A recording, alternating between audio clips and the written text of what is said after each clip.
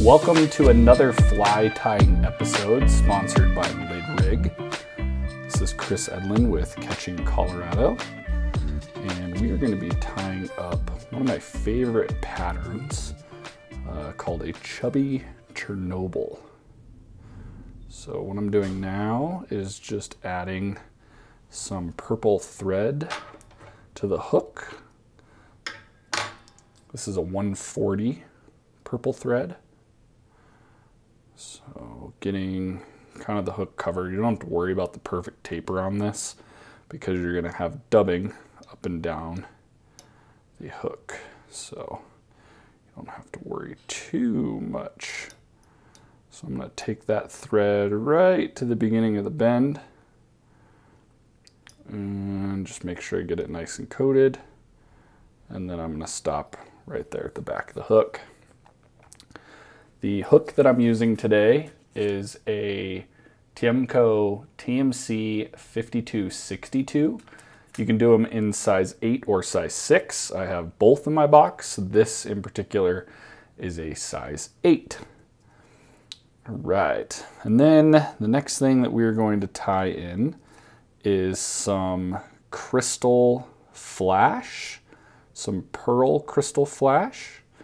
So I'm going to grab 10 or so strands of pearl crystal flash and I'm going to mate those with the back of the hook.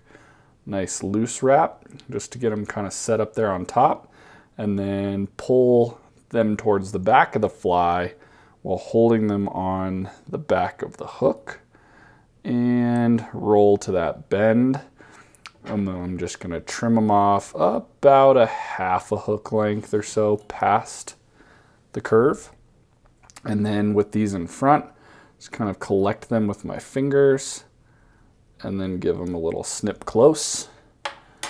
And then just gonna roll forward to kind of capture any of those extra loose strands. And then I'm gonna go right back to the back of the hook and stop in the same position. And then I'm going to take some ice dub, some UV purple ice dub, and I'm going to build a nice thin noodle to my fly here, spinning just one direction with your fingers. Don't spin backwards with ice dub or it's gonna come apart on you. So I'm just gonna build a little bulbous back here. Nothing crazy. That should be pretty good right there. A couple little wraps just to secure any looseness right there. Then what I'm gonna do is I'm gonna take a piece of foam. This is black foam and it is two mil and I'm just going to trim off the corners for a little butt section.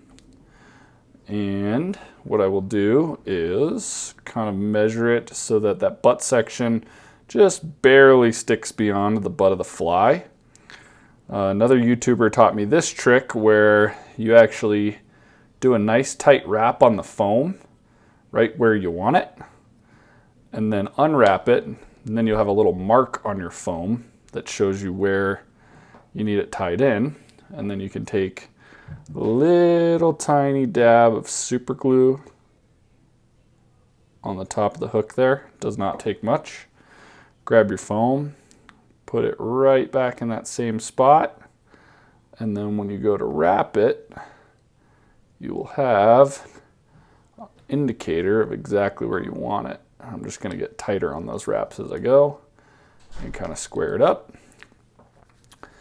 And then next thing we want to tie in is the wings. So the wings I'm using uh, McFlylon. It is kind of like a yarn, it's a polymer. So I'm cutting some McFlylon off of the zip tie. And then I am going to put the butt of the McFlylon just about in line with that flash.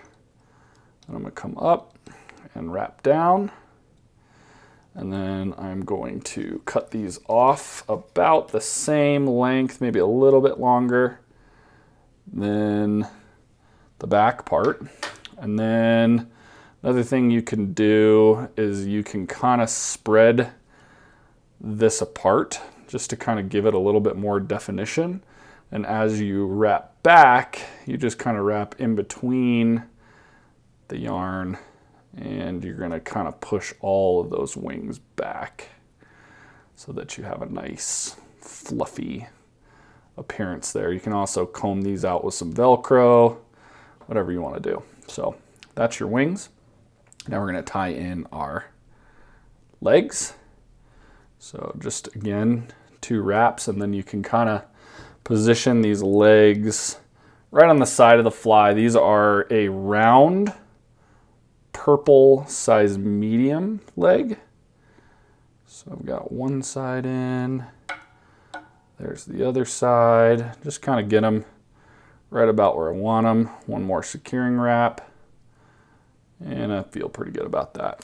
All right, so now that we have the wing and the legs on, we're gonna go back to the purple ice dub. Again, doing a thin noodle best we can. Just kind of roll it on here, make it thin, thin, thin as possible. And this one we're gonna make a little longer because this is also going to be the body of the fly. So not only are we going to kind of go over the wing casing here, do just a couple wraps here. Then we're going to kind of fold this back. We're going to tightly wrap the body here. Need just a little bit more dubbing on there. Not a ton.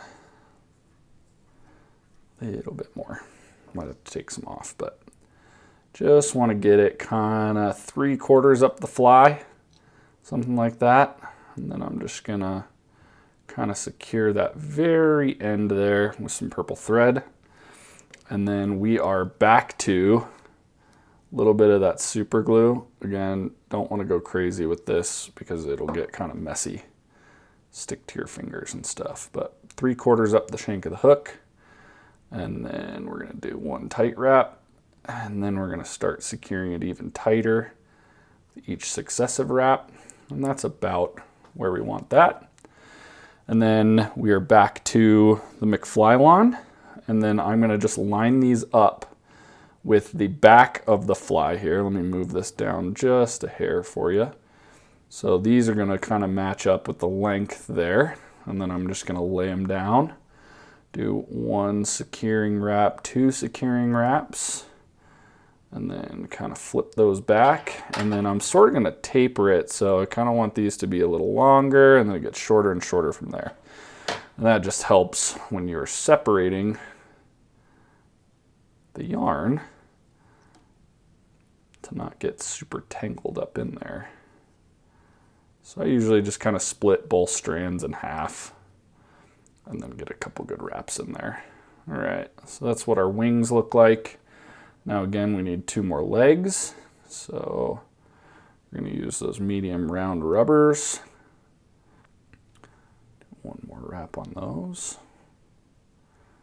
All right, then when you get your legs kind of laid out exactly how you want them, you got the wings laid out how you want them, we're gonna finish off with a little more ice dub. And this, uh, this one's not to be super, super long either. Again, we're going for like thin noodle, um, but it's not going to be super long noodle because with this one, we are going to finish at the head of the fly. I want to give it a little bit of a head, but we also want to have a good tie point for our whip finish. So I'm going to hold those wings back, do a couple wraps over the top, and then I'll get a couple sneaky wraps in right here behind the eye.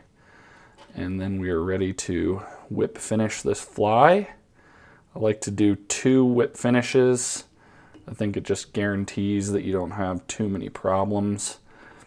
And the super glue on this is going to make it really durable. Um, but in general, I think a whip finish is the way to kind of finish all of your flies. Make sure you got a whip finish on there. You can do a little head cement if you really wanted to. All right, so now this fly is tied. And then what I'll usually do is if I have any stragglers, I'll just kind of peel those off, little wing stragglers. And then you want to cut the head, maybe, I don't know, I would say like two eye lengths in front of the eye of the hook. And then kind of cut very, very minor 45 degrees just to get those points off there. And then I usually come back and make the head a little bit more dull and flat by cutting the front. And that right there is your finished chubby Chernobyl. Great little fly, fantastic pattern for dry droppers, and uh, just one that absolutely produces here on the South Platte. So that is the chubby Chernobyl, and this video has been sponsored by Lidrig. Happy fishing.